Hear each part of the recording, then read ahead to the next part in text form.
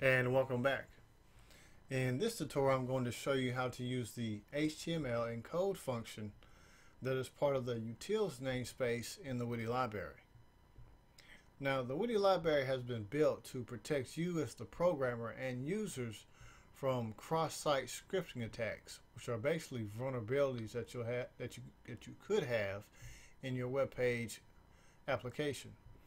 It protects you from users from injecting client-side code, uh, embedding HTML tags.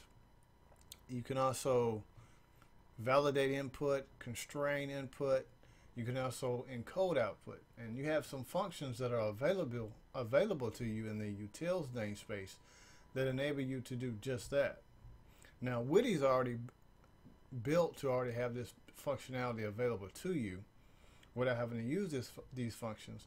But I want to show an example of how you can constrain HTML and JavaScript function functions in your application. So let's go ahead and get started with a small application.